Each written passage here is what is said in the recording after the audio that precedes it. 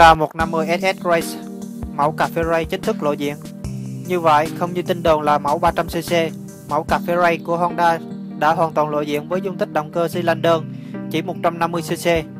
Thiết kế ngoại hình của Honda 150 SS Race gây sót với các fan đam mê bởi thiết kế cực kỳ ấn tượng và hiện đại. Sự kết hợp hoàn hảo giữa phong cách cổ điển cà phê ray và hệ thống đèn led hiện đại trên đầu đèn.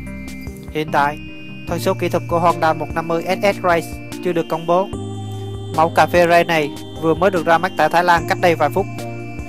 Tổng thể thiết kế của Honda 150 SS Race quá ấn tượng, vuông upside down thể thao, nhiều chi tiết carbon đẹp mắt. Chưa rõ đây có phải là phiên bản thương mại hay chưa, bởi xe chưa có dè chắn bùn và bát biển số. Honda 150 SS Race được trang bị cặp vành carbon siêu nhẹ, đĩa thắng lớn chuyên dụng của các mẫu xe đua. Khối động cơ trên Honda 150 SS Race là khối động cơ xi lanh đơn 150cc.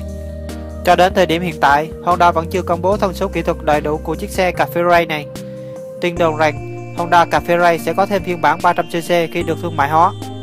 Đầu đèn của xe có thiết kế tròn theo phong cách cổ điển, full LED hiện đại. Lớp trước của Honda 150 SS Race có thiết kế dạng trơn dành cho phiên bản đường đua. Với thiết kế lớp trơn như hiện tại, có lẽ đây chỉ là phiên bản concept.